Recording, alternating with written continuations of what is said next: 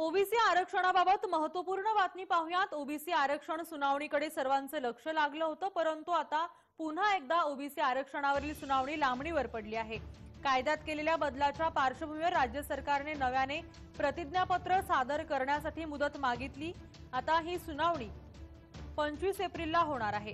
या मुदतवाढीसाठी या मुदत वाढीमुळे मुंबई पुण्यासह राज्यातील सतराहून अधिक महापालिकांच्या निवडणुका लगेचच होण्याची शक्यता आता मावळली आहे.